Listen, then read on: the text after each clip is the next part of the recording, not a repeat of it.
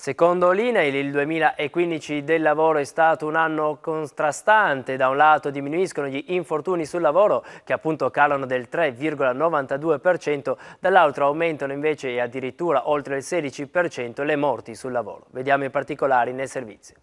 Un 2015 nero per gli incidenti mortali sul lavoro. L'anno da poco alle spalle conferma un calo nel complesso degli infortuni sul lavoro, ma segna la risalita dopo un decennio in continua discesa del numero delle cosiddette morti bianche.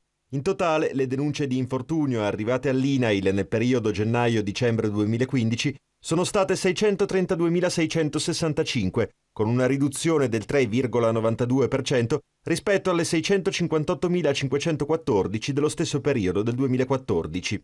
Le denunce di infortunio mortale invece sono state 1.172, in aumento del 16,15% rispetto alle 1.009 di gennaio-dicembre 2014. Gli over 60 tra i più colpiti. L'analisi per classi di età evidenzia infatti l'incremento maggiore tra i 60 e i 64 anni, più 42,2%, dove si è passati da 83 a 118 denunce di infortunio mortale. I dati dell'Istituto Nazionale per l'Assicurazione contro gli infortuni sul lavoro, aggiornati a fine 2015, comprendono sia gli infortuni cosiddetti in occasione di lavoro, sia quelli in itinere nel tragitto casa-lavoro. Alle denunce fa seguito l'accertamento dei casi, ma la tendenza che emerge è al rialzo per le cosiddette morti bianche.